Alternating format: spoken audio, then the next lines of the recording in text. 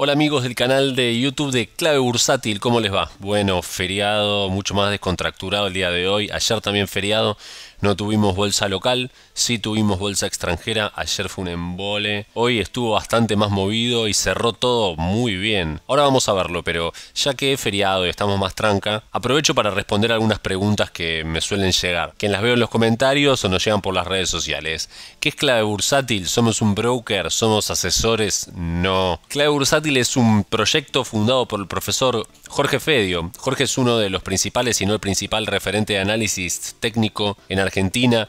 Él hacía análisis técnico con papel milimetrado, cuando todavía no había sistemas computarizados. Anotaba al cierre del mercado el máximo, el mínimo, la apertura y cierre de cada acción y después hacían en papel milimetrado los gráficos y analizaban. Bueno, desde ahí viene clave bursátil y hoy en día somos un grupo de muchos entusiastas del mercado, algunos profesores como Jorge y analistas que nos dedicamos a la divulgación y, el entusiasmo por el mercado de capitales y por su desarrollo, y en ese marco brindamos actividades educativas como cursos, seminarios y ese tipo de cosas. Aparte de Jorge, con todo lo de análisis técnico, está Alexis Chubarov, un legendario operador de opciones, enseñando ese tema opciones. También tenemos a Rubén Pascual y referente en análisis fundamental, dando esos temas. Conmigo pueden aprender cómo descubrir el mercado y cómo usarlo a su favor. La idea es que el inversor minorista no sea el que llega a la fiesta último para levantar las copas, como dice el profe Alexis, sino que pueda empoderarse a través de su instrucción, su educación y con más conocimiento poder defenderse mucho mejor en el mercado y ponerlo a su favor. Clave Bursátil es una comunidad, también somos un montón de personas y nos comunicamos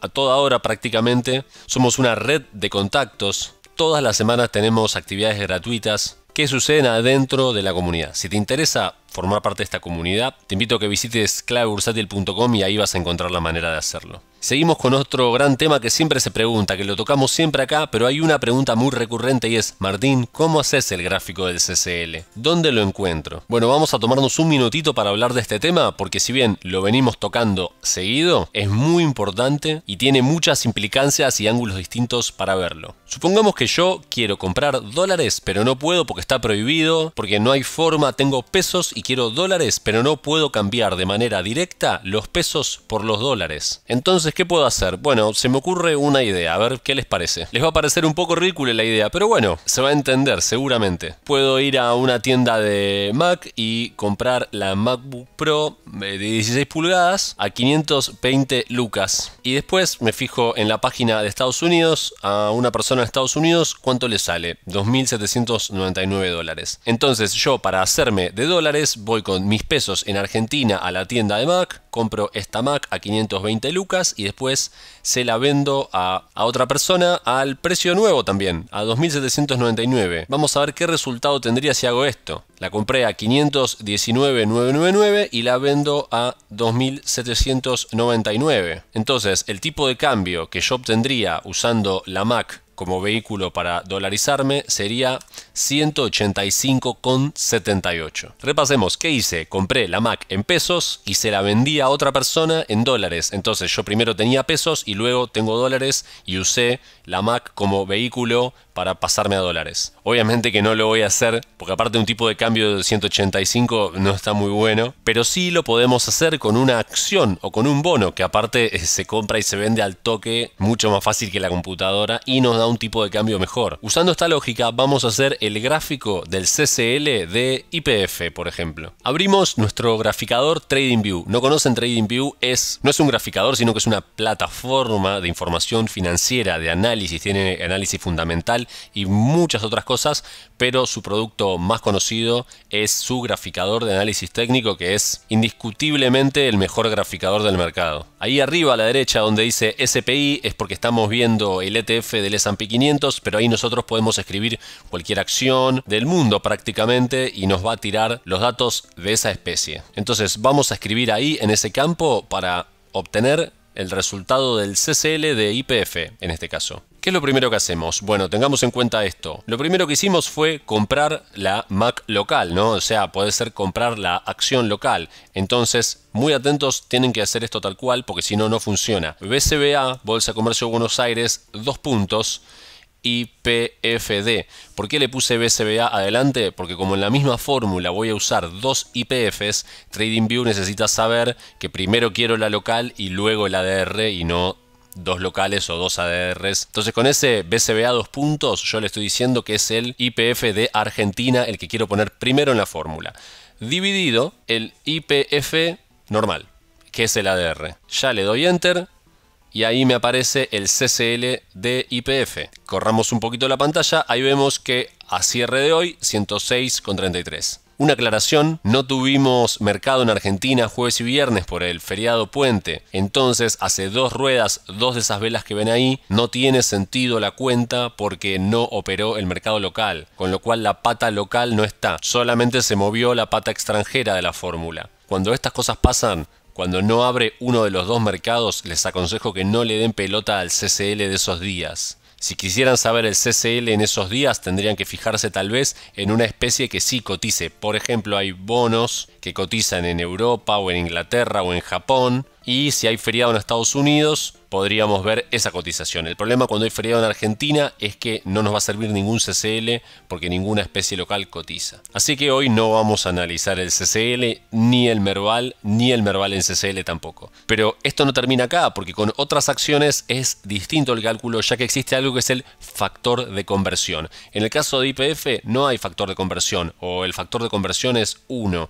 En algunos otros ADR pasa lo mismo, es 1, pero hay otros ADRs en los que el factor de conversión es 10 o 25 u otro número. Vamos a ver alguno de esos casos. En Galicia, por ejemplo, el factor de conversión es 10, entonces ¿cómo haríamos la fórmula? Sería BCBA 2 puntos GEGAL, esto es Grupo Financiero Galicia local, dividido GEGAL a secas, eso es el ADR, por 10. Si no hacemos por 10, va a estar mal. Enter. Ahí está. Ven que es casi igual el gráfico. También nos dio un, un CCL de unos 106. Y ahora vamos a ver el gráfico del CCL promedio de 5 ADRs. Acá lo tenemos. ¿Y cómo es la fórmula? Bueno, fácil. Galicia local dividido Galicia ADR por 10 más macro local dividido macro ADR por 10 más IPF local dividido IPF. No hay factor de conversión porque es 1. Pampa local dividido Pampa ADR por 25. En Pampa el factor de conversión es 25. Más Banco francés local dividido Banco francés ADR por 3. En ese ADR el factor de conversión es 3 dividido 5, porque fueron 5 ADRs, entonces tengo un promedio del CCL de esos 5 ADRs, que en este caso me está dando 108,74. Pero recuerden que como no hubo mercado local, no tiene sentido evaluar esa cifra hoy. Voy a pegar acá en la descripción del video la fórmula de estos CCL para que ustedes las puedan aplicar, pero lo más importante es que puedan entender qué es el CCL, por eso hicimos el ejemplo de la computadora, porque eso tiene muchas implicancias. Imagínense que por algún motivo que solo existe en Argentina, mucha gente sale a comprar las Mac. Pero en Estados Unidos sigue todo normal. Venden la misma cantidad de Mac que siempre. Pero en Argentina, por algún motivo, van y compran un montonazo de Macs. Y entonces el vendedor de Mac sube el precio de estas va a cambiar el CCL de la Mac. Eso pasa con las acciones también. Si algún factor que sea propio de solamente uno de los dos sistemas financieros y no el otro hace que las acciones se muevan en uno y no se muevan en el otro, hacen mover el CCL. De hecho, muchísimas veces el CCL no importa porque alguien quiere comprar dólares con pesos mandándolos de un lado al otro. Solamente lo miramos porque es el arbitraje que hay entre la especie local y la especie extranjera. Es un tema complejo, pero es muy importante en mercados pequeños como el de Argentina, que dependen mucho de los mercados principales como el de Estados Unidos, ya que somos un satélite del mercado de Estados Unidos. Y el CCL es como la relación de precio entre los dos mercados. Concepto clave para un inversor en Argentina. Vamos a ver algunos gráficos y cortemos con este tema. El S&P 500 cerró hoy con bombos y platillos más 1.22 tras una semana muy lateral y aburrida. Vamos a hacerle un zoom a la semana ya que es viernes. Miren qué aburrida lateralización que hizo el S&P toda la semana estuvo metido en los mismos valores. Por suerte el máximo de la semana, ven que de ahí de 3180 no pasamos. Pero si planteamos esta línea verde como una resistencia dinámica de corto plazo, eso nos da una ruptura hoy, lo cual es bueno. La verdad que el gráfico, aunque la semana fue aburrida, está bastante bien porque reconoció muy bien el promedio móvil. Vean qué preciso la media móvil ponderada 21, la vino a buscar dos veces, también al mismo tiempo tocó la base del canal, con mucha tranquilidad, bancando también en el 78.6 de Fibonacci que está en este mismo valor. Semana aburrida, pero sólida para el S&P, una lateralización y seguimos esperando algún catalizador que incline la cancha para el lado de los toros, a ver si podemos llegar finalmente a un máximo histórico en este índice, así como ya lo vemos en el Nasdaq. Bueno, esta buena, muy buena rueda de hoy en Estados Unidos tuvo sus repercusiones en cuestiones locales y ya las vamos a ver. ¡Pum! Galicia más 8 y llegó a estar más 9. Pero ¿qué sucede? Lo que habíamos indicado antes, la media simple de 200 ruedas. Hicimos un doble techo ahí, podríamos decir, por ahora podría ser un doble techo. Esperemos que no, porque sería un patrón de reversión para irnos para abajo. Pero es el tercer toque en la media simple de 200 ruedas. Por eso pueden ver en mi gráfico de TradingView algo que hice en el recorte anterior en vivo acá frente a ustedes, que fue poner una alerta en mi plataforma TradingView que me avise si Galicia supera ese promedio móvil. No se prendió la alarma hoy porque Galicia no superó así que seguiré esperando. Por su lado, IPF sigue un camino prolijo, mucho más sano y con poca volatilidad en esta especie de cuña gigante que empezó allá por el mínimo ese glorioso de 2 dólares con 25 que hubo en la caída del corona con la crisis del petróleo y viene muy prolijo ahí, arriba de la media móvil ponderada 21. Lástima que es una cuña, esperemos que no tenga una resolución bajista. Ustedes saben que a mí esas resoluciones no me gustan mucho. Dejé marcada acá en azul la media simple de 200, que es la misma que estamos viendo en Galicia, porque bueno, me parece que si en Galicia esa media está funcionando bien, probablemente en IPF, que es una parienta cercana de Galicia en el ADR, pueda operar también ese indicador. Para pensar un poco lo que pasó en Argentina en los mercados esta semana, les propongo que miremos las 5 velas de Galicia aumentadas. No lo vamos a pasar a una visión más corta. Miremos las cinco velas. Estos son hipótesis que uno puede plantear. Fíjense, ¿se acuerdan lo que había pasado el lunes? Una voladura increíble con muchísimo, muchísimo volumen.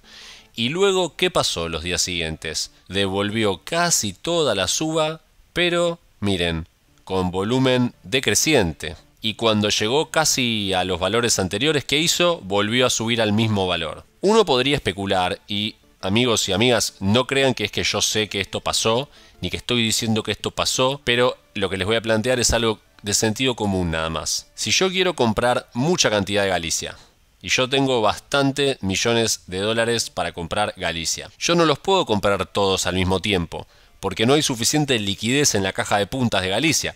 O si yo agarro y quiero volcar 10 millones de dólares de una, me voy a llevar puesto toda la caja de puntas y voy a hacer que Galicia se vaya a más 30% y después se va a caer como un piano. Entonces, si yo soy ese inversor y quiero poner tanta cantidad de plata, lo tengo que hacer en dosis. Y a mí me conviene que después de cada compra mm, el papel baje un poco para que yo pueda comprar más e ir acumulando, como se dice, al precio más bajo que pueda. Cuando yo termino de comprar, ahí sí quiero que suba. Pero cuando yo no terminé de comprar todavía, no quiero que empiece a subir, prefiero que baje. Entonces, en una situación como esa, esta cosa que pasó la semana que termina hoy es muy funcional a esa situación. Repito, compro acá todo lo que puedo, miren el volumen alto y si quiero comprar más, prefiero que el papel baje un poco y cuando baja lo suficiente, pum, le meto de nuevo la compra para ir completando mi posición. Y ahí sí, una vez que terminé de comprar y ya tengo todo lo que quería, no necesito vender más, no necesito que el papel baje más y ahora sí quiero que suba. Como les decía recién, yo no sé si eso es lo que pasó y por eso las 5 velas de la semana tienen esa forma. Pero tengan en cuenta que cuando los hedge fund o distintos tipos de manos grandes tienen que comprar un activo que tiene poca liquidez, recordemos que Galicia para nosotros por ahí es una empresa grande, pero en términos internacionales no lo es. Uno no puede ir, decir, che, hay que comprar Galicia, bueno, dale, pum, comprar, ya está, compré. No, tiene que ir comprando de a poco para no hacer explotar la caja de puntas. Inclusive la misma persona o la misma entidad que compró el lunes puede vender vender un poquito el martes, vender un poquito el miércoles y vender un poquito el jueves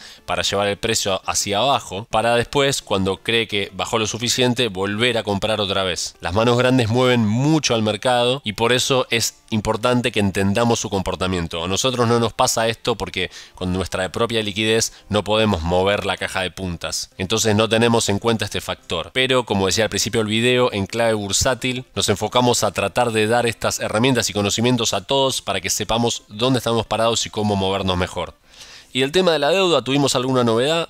Bueno, miren, hoy en el medio de la subida, hasta que hubo más o menos por las 3 de la tarde, apareció una noticia. Ahora la vamos a ver, pero acordémonos que las noticias hay que leerlas entre líneas y que siempre o muchas veces tienen alguna intención detrás. Así es esto, hay muchos intereses y las noticias mueven el mercado y el mercado es dinero. ¿Qué decía esta noticia de las 3 de la tarde? ¿Qué dice esta noticia de Infobae Económico que esta vez no es de Román Lechman sino de Martín Cannon-Gieser? Bueno, que BlackRock y sus aliados reanudaron la negociación con el gobierno para llegar a un acuerdo de la deuda. Nada vemos en el título, muy interesante, pero un dato que me llamó la atención, no está resaltado en amarillo, es este. Uno de los hombres del sistema financiero aclaró que el ministro de Economía, Martín Guzmán, estaría afuera de la negociación actual, aunque la versión no fue confirmada. No sé si a ustedes les da la misma impresión, pero siguiendo este tema muy seguido gracias al recorte, tengo la impresión de que a los fondos no les cae muy bien Guzmán. Tal vez ha tenido una posición un poco arrogante, los fondos también. Y es posible que opere esta cuestión de bueno, que es un chico joven, que su ex primera experiencia como funcionario público quiera torcerle el brazo a los halcones más poderosos del sistema financiero. ¿Se acuerdan lo que hablábamos allá por eh, abril, más o menos, cuando empezamos con el truco de la deuda? Que veíamos que las formas de Guzmán y el hecho de que Alberto no se involucraba a él en la negociación, sino que lo mandaba a Guzmán, traían muchos chispazos y rispideces eh, a la mesa de negociación. Y varias veces que la negociación se empantanó y las cosas empezaron a pintar mal, bueno, lo que trascendió fue que al final Alberto, él, hacía algún movimiento por afuera de los canales de negociación oficiales para tratar de destrabar, a través de contactos en otros gobiernos o canales paralelos. No sabemos la verdad si la gran suba de hoy tiene que ver con alguna de estas tres cosas que acabamos de nombrar en el recorte. Uno, que alguien haya querido comprar mucho Galicia o los ADRs que sean y hayan comprado mucho el lunes, hayan dejado bajar martes, miércoles, jueves y hayan comprado otro tanto más el viernes, o haya sido un contagio positivo del S&P 500 que hoy subió 1.2%, viendo muy buenas subas también en acciones de Estados Unidos diversas. Ya hemos visto que hay un alto grado de correlatividad entre el S&P y los ADRs argentinos. Los bancos americanos hoy también subieron y eso impulsa también a los bancos argentinos. Y por último, esta noticia que vemos de que habría un canal paralelo de negociación. Bueno, nunca sabemos por qué son las subas ni las bajas. Desde el recorte les proponemos ver las cosas que hay sobre la mesa y analizarlas abiertamente, sin bola de cristal, sin promesas rimbombantes. El mercado no es plata fácil, no es plata rápida, es un lugar para valientes, para personas inteligentes. Lo que podemos ver en clave bursátil es que sin ninguna duda es un tema que apasiona a muchísimos y no necesariamente a millonarios. Como dice el profe Jorge Fedio, la bolsa no es para ricos, es para quienes pretenden serlo. Y así cerramos el recorte del viernes, nos vemos el lunes y esperemos que sea con una buena suba, con una hermosa vela verde. Chau chau.